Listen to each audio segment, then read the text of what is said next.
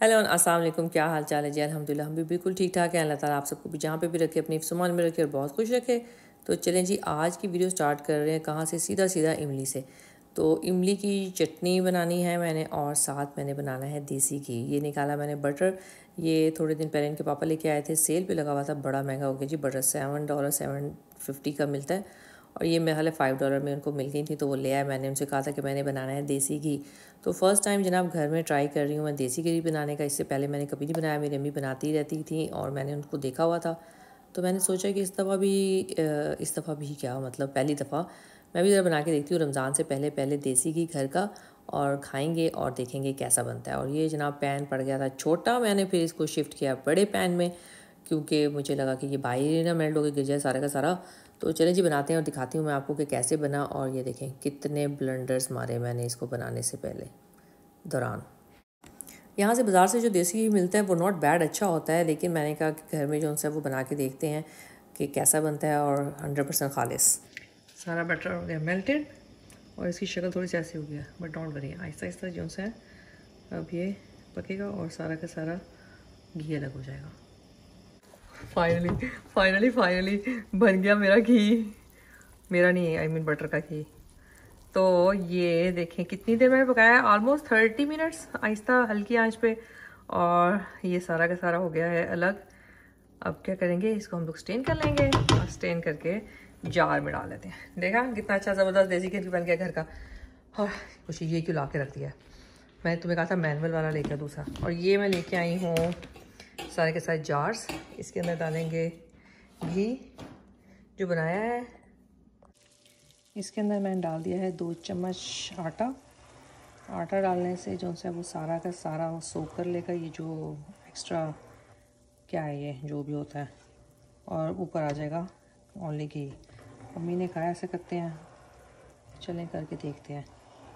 थोड़ी देर और पका के। क्या होता है? और आटे ने तो जनाब वाकई जादुई काम किया। थोड़ी देर मैंने इसको बंद करके रख दिया और देखें कैसे सबका सब जो है वो घी ऊपर आ गया है और जितने भी रेजिड्यू हैं वो नीचे बैठ गए हैं। और उसके बाद मैंने ले ली एक छन्नी और ये ले लिया मलमल का कपड़ा जो आराम से डॉलरामा से मिल जाता है। साफ़ सुथरा इसको लेके अब अच्छे से हम लोग छान लेंगे ताकि कुछ भी अंदर ना जाए। ये देखिए घर का देसी घी माशा से हो गया तैयार। ये थी four butter bar, four and fifty grams की हाँ। उससे एक किलो घी माशा से निकला है। और ये था बरार वालों का मैंने लिया 800 ग्राम, और ये मेरा एटीन डॉलर का। 18 या 21 डॉलर का आता है ये, ठीक है? ये एक किलो का भी नहीं है। और ये माशाल्लाह से चार बार का बन गया एक किलो का, और एक बार आती है पाँच डॉलर की। या अगर लें उसके ऊपर, किस पे? सेल पे। वैसे सेवन डॉलर की होगी है तो ये देखें जी, खैर का माशाल्लाह से। और इतनी अच्छी खुशबू आ रही है, ज़बरदस्त किस्म की। तो ये अब हम लोग रमज़ान में करेंगे यूज़, और माशाल्लाह से बनाएँगे पराठे शराठे। अगर अंदर से भी दिखा दूँ। वाह हमारी अम्मी ये जो आटा है ना, इसका बनाती होती थी हलवा।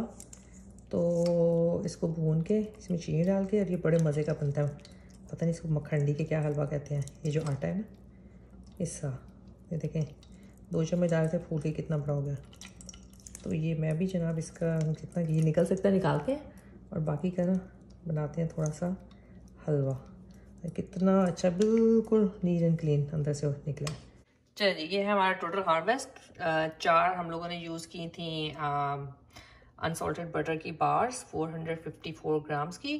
और ये एक किलो, और ये होगा, कितना होगा? फोर हंड्रेड ग्राम्स तो हो गई, हैं?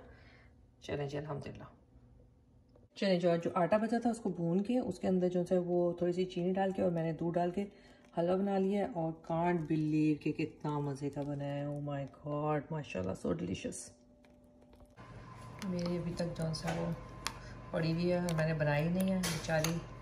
और अभी हो रही है अफ्तारी की तैयारी। और यहाँ पे जना मैं बना रही थी बर्गर आ, किसका? चिकन माइनिस का और हैश ब्राउन का और लेटिस का। चलें जी ये खुशी मैडम आपका हो गया है माशाल्लाह से इफ्तार रेडी जगह बनाएँ। ये जी बच्चों की इफ्तार। सालन सालन रोटी नहीं खानी है इस तरह से के लवाजमात दे दें तो हम हैप्पी हैं हाँ? और डिज़र्ट और डिज़र्ट ओ माय गॉड खुशी? ज़्यादा नहीं हो गया थोड़ा सा कुकी शुकी चले इंजॉय करें। हाय हाय गंदे पांडे। कोई कर दो। आते हैं इमली की चटनी एक पैन लिया उसके ऊपर इसको रखा और अच्छे से सारा का सारा पल्स निकाल लेते हैं। बड़ी इजी होती है और बड़ी जल्दी बन जाती है। आप जो सा इसको रख दें पकने के लिए और थोड़ा सा जो सा इसको गाढ़ा करना होता है। क्या डालना होता है? सिर्फ़ चीनी में डालती हूँ ब्लैक पेपर्स और क्रश चिलीज और थोड़ा सा सॉल्ट दैट से अभी आगे आप देखिएगा, मैं साथ साथ डालती जा रही हूँ।